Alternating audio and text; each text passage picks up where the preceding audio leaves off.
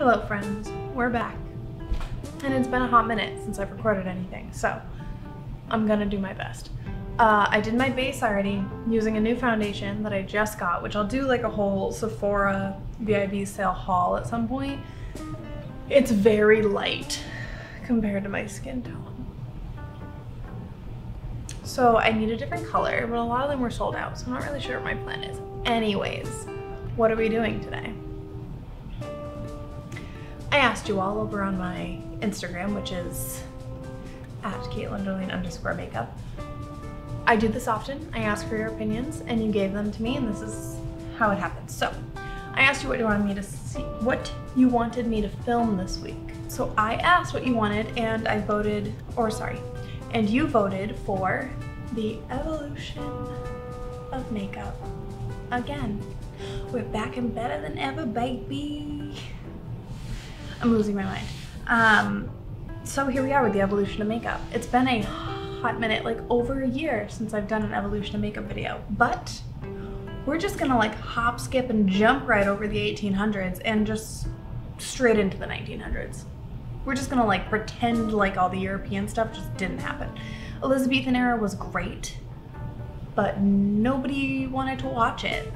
I mean, it's not like a time period that people are crazy about. So we're jumping from 1900 to 1920 to 30 range, like the 1900s through the 1920s, if that makes sense. So we're talking speakeasies, we're talking flappers, we're talking Great Gatsby, Hollywood, glamour, post-war lifestyles here, okay?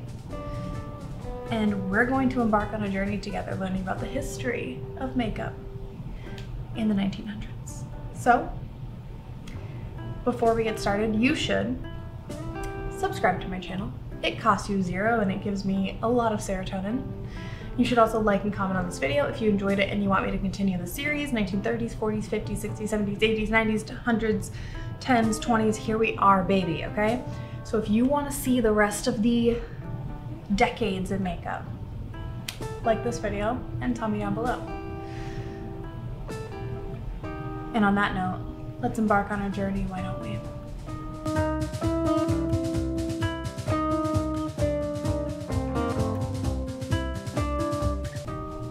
One thing we're gonna change up this time around is I used to do one side historically accurate, one side modern day interpretation. However, now that we're in the 1900s, 1920s, this makeup is much more wearable, much more like still considered modernized to some extent. So I'm not going to do the split face. I'm just gonna do a full face, okay? So that's where we're gonna start off. Now, I just wanna give you some very quick history and facts, but in order to do so, we need to start some makeup. So, one thing that I found, and I have lots of pictures, I will insert them here, but I found a clipping from a magazine back in, I think this was 1930, 1926, sorry, Princess Pat, okay? So this is how to apply rouge. And I'm going to just quickly explain this before we get into like the full history of makeup in that era because otherwise you're gonna be watching me just talk and not doing anything. The main things that they wore on makeup, for makeup, were eyeliner, rouge or blush, and lipstick. Okay, so those three items, very important. And I do understand that for a lot of other cultures in the past that we've talked about, that was also very important. And you just need to know that makeup is always evolving and changing. It's not coming from a brand new idea. We're taking what we know from history and we are working it into modern day and updating it every time we're doing one of these videos. Every decade change, we're getting updated routines, we're getting updated products, and we're working on getting to where we are now in the 2020s. So let's discuss this, okay? I'm gonna insert a little picture here because I've never seen this and I'm so excited to try it. So, it says the final beauty touch to your complexion is the warm natural flush of your cheeks, supplied by arti- why could I not read the word? Supplied by artistic use of rouge and how it emphasizes the beauty and brilliancy of your eyes. The correct way to apply it is very important. Nature's own color appears in the form of a V, pointing toward the nose. Apply as shown by the diagram sketch, leaving a white space about the size of a silver quarter in front of the ear. Blend softly over cheeks with puff. Never apply in a hard, round artificial spot. For waterproof lasting effect, your rouge should be applied before powdering. Princess Pat Rouge comes in three delightful original shades, vivid, brilliant, fashionable, a new and wonderful hue English tint. The original orange blends naturally with all complexions, blonde, brunette, and medium pastel rose for the conservative women.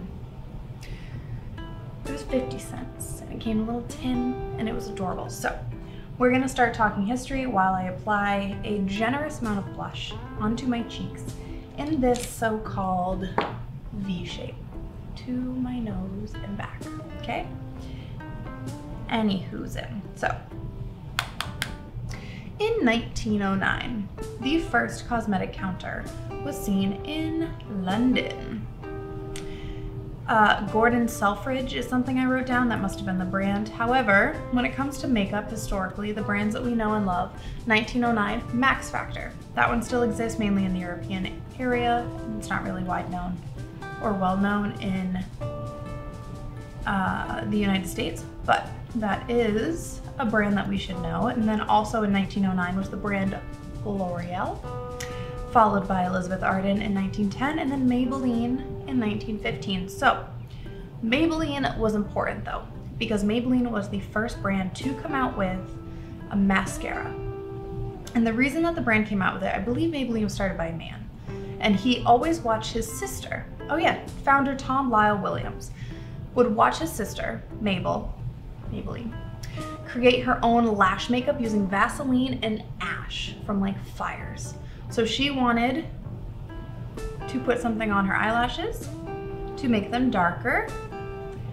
And she would take ash and mix it with Vaseline and then apply it to her lashes. And so Mr. Tom Lyle Williams said, we gotta make some sort of product that my sister can use and not put literal ash on her face. And that became the Maybelline Cake Mascara, which is in this photo right here. So back in the day, that is how you applied mascara. You used a brush like that and you also wet that little cake, rubbed your brush in it and just brushed through your lashes. Obviously modern day mascara, a lot easier to use. However, that's where we started. So in the 1900s and 1920s, Hollywood really influenced the makeup industry. And the reason that is, is because there was film now. So there was people on camera. And so the actresses had to add makeup to really accentuate their features. So they would darken around their eyes, they would darken their cheeks with blush, they would add the lipstick. And it was all black and white, so that contrast was important. So that's where it all came from. And so in order to emphasize their eyes, they needed products and other people wanted to use them as well. And therefore, companies started to make eye makeup. The other thing that I found super interesting is that the reason beauty started to become so popular was in 1914 when women began working. It was after the war, or even during the war to some extent. I honestly don't know my dates very well. I've never been a date person. But when women started to work, they were out of the house. So before they were in the house, they were hanging out, they were doing their thing. They never really left. There was no reason to get dolled up, no reason to look nice. But now they're leaving, they're going to work. And so therefore they're getting themselves ready and doing their makeup every single day to leave. I applied my blush in my little pattern. I did my little V down here. Did my V shape like they told me to in my little video. Video. Videos back then. I'm just pouncing over it with my sponge to kind of blend it in my hair. But, you know, they use lots of blush. I'm using lots of blush. What are you gonna do? I also have a reference photo of a woman. She does have the more like circular pattern on her cheeks but this 1926 said no thank you. So I did add a decent amount into my cheeks, I just didn't want it to be the only shade. So by 1920, Every single pharmacy and department store had beauty counters within them. Very popular. And the products that people were mainly using were powders, lipstick, eyeliner, vanishing cream, which I think would just be a moisturizer, pan sticks, and mascaras. I believe pan sticks had to do with um, eyeliner, like black eyeliner. So let's start with that. So there's a couple different things that people would do. Daytime versus nighttime was different.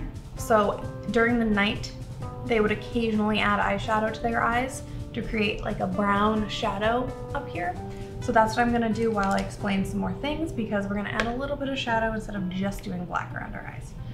So I'm dipping into my uh, ColourPop Nude Mood palette and just taking a brown. I wanted a very neutral brown and I'm just putting it all over my eyes. So what's important though is the actual shape of the eyes in this era. So cat eyes and wings were not fashionable and people would not wear them. Every look that you see from that time period is rounded. So that is what I'm doing. They were simply just rounding out their eyes or making them look more circular, more doll-like, if you will. They are not winging, they are not adding wings, they're not doing any of that. That is not fashionable in the 1900s to the 1920s. So they would use brown, gray, black, or plum eyeshadow, but I saw a lot more things talking about brown than I did about all the others. However, people could get a little bit more adventurous at the night or during the evening and at nighttime. So sometimes they would. Daytime, you really would just use an eyebrow pencil, a lipstick, and blush. You wouldn't go for the eyeliner, you wouldn't go for the brown eyeshadow. However, once it hit nighttime, you could then do a brighter lipstick. You could add eyeshadow, and then you could add your eyeliner around your eyes, which is the classic we've seen ever since ancient Greece, uh, ancient Egypt, ancient everything, all those cultures, uh, ancient India, they all used eyeliner around their eyes. That's just very common. Um, and it really hasn't gone away. Eyeliner and using dark shades to go around your eyes is still incredibly common nowadays and we can blame our ancestors for that. Um, I'm gonna put a hair under because this girl looks like she has a little bit under her eyes in my reference photo. Here's what I'm using for reference. I know it's a picture, like a drawing, and it's not a photograph, but I do have one of those as well, which I will show you here. This is a famous actress from the time. Her name is Raquel Torres, and she was also very iconic when it comes to makeup. As you can see in this little photo, she has her big round eyes and very dark eyeshadow, her deep lip. You actually can't see her blush, which means it wasn't super dark, but you can see her eyeliner, her mascara, and also her very elongated brows. We will get into that in a minute. Did anybody else in seventh and eighth grade do like the black all around their eyes and then every time they have to like look at a photo of themselves back in the day, you're like, what was I thinking? Because that's me every time I do one of these videos where I have to, literally have to, put black around my eyes. It's just not flattering. Uh, this eye pencil is probably dried out, so we're just gonna do a little black line around our eyes, just like they would. Classic kohl eyeliner, super important. I had it written, yep, um, so it does say that a go-to look and style was black eyeshadow or kohl liner for the daring girls. For your eyebrows, they'd be plucked and drawn down toward your temples, very elongated and thin. Your lips were smaller than natural, but that cupid's bow was super important. So there was no overdrawing, overlining. You didn't want your lips to look huge.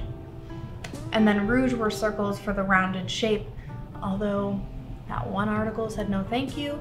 And then the lashes were mascara always. It was a new rage, rage, and you would not go without mascara. Every woman would put mascara on when they left their house. Okay, finished the eyeliner off camera and look like a hot mess. So we might as well do the one and only mascara.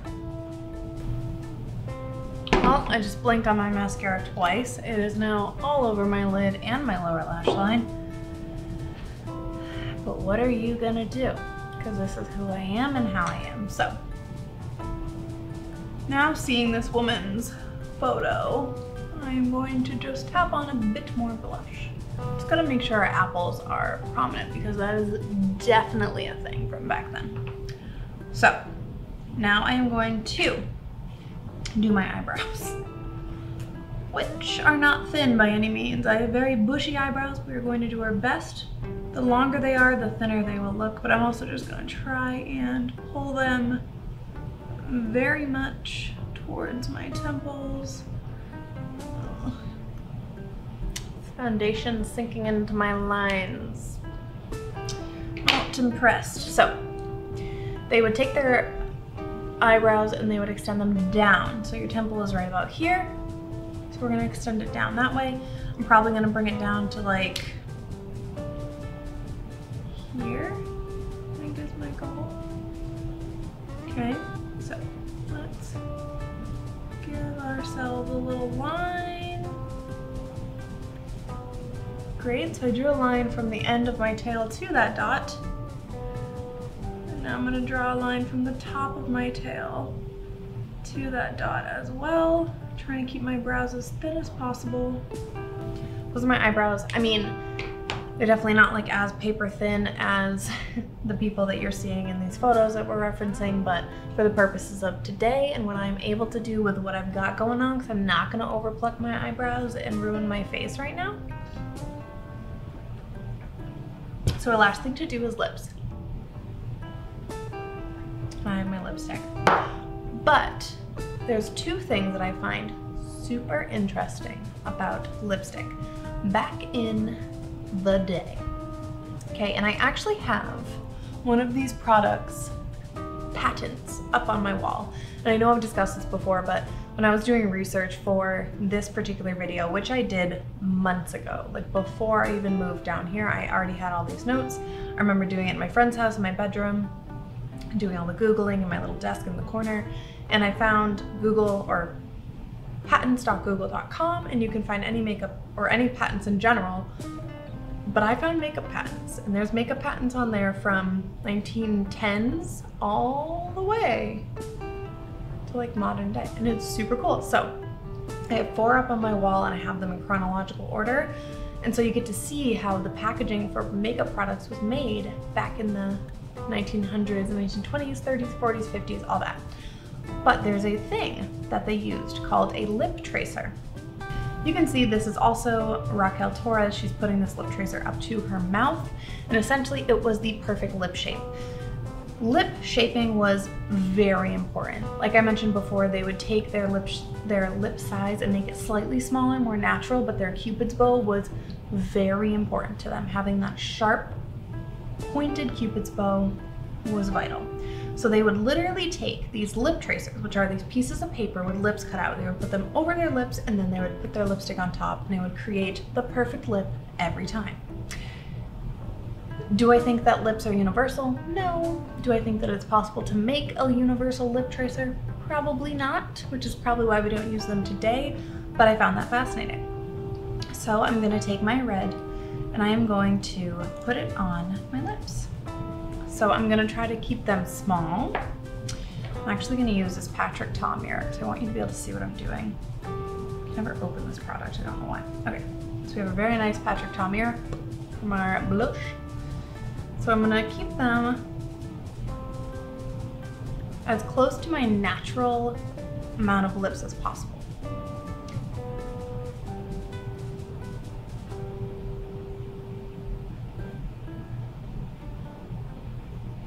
My bottom lip, I even just like underlined a little bit, so there is still a little bit of pink poking out underneath on all sides, but honestly, you're not gonna be able to see it, and I think that that's important.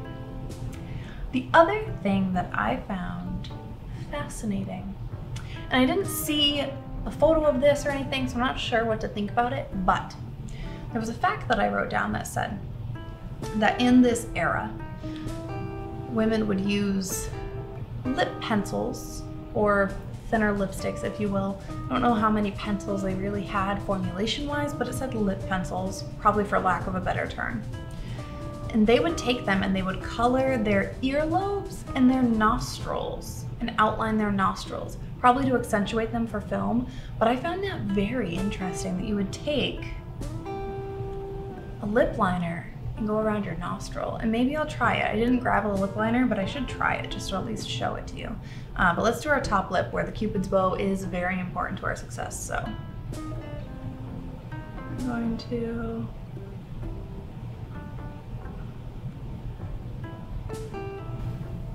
I'd say I did pretty good on my lips. Now I'm gonna go quickly grab a lip pencil. We're gonna try to outline our nostrils. I grabbed my Makeup Forever Artist Color Pencil in the shade 602 Completely Sepia. It's one of my lighter pencils. I didn't think that using a dark one would make a lot of sense. Obviously they're trying to accentuate their features, but I don't know what I'm doing. So we're gonna play it safe. And I also don't know what they did to outline their ears. So I'm just gonna not do that, but I'll do my nose. Let's see. All right, what do we think? I outlined my nostrils from afar. Kind of just makes my nostrils look like I have a cold and I've been rubbing them with a tissue and now it hurts.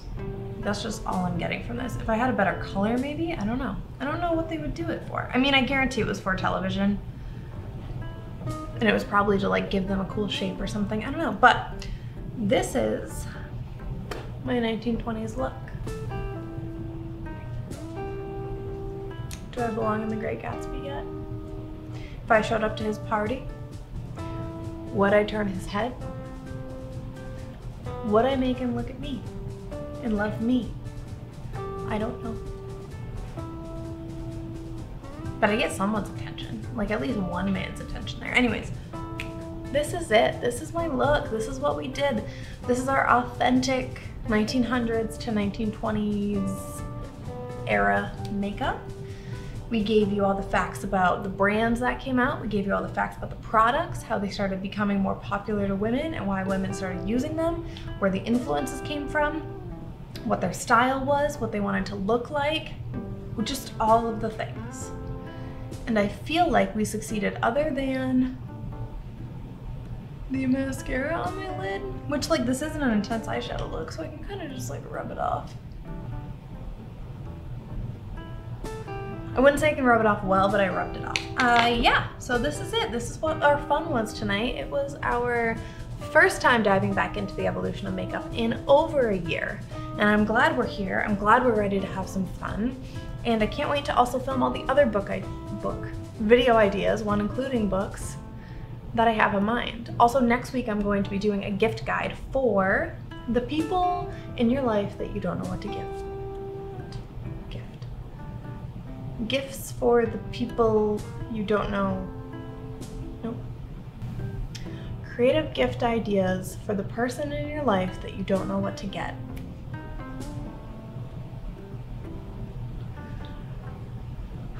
I gotta work on the title. But anyways, just cool creative gift ideas. I feel like I'm a really good gift giver and I get really excited about Christmas every year because I love giving gifts.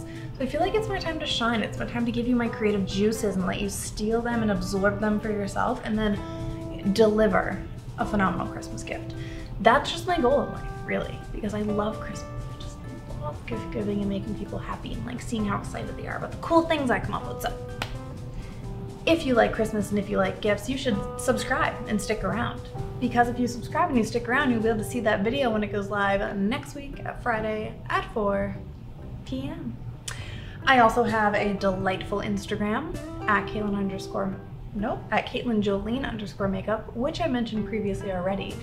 But I post a lot over there. We do a Makeup Monday, which is a little quick tutorial to some fun music every Monday. I also post uh, Instagram reels over there, which still are getting much more views than my TikToks, but I also post on TikTok.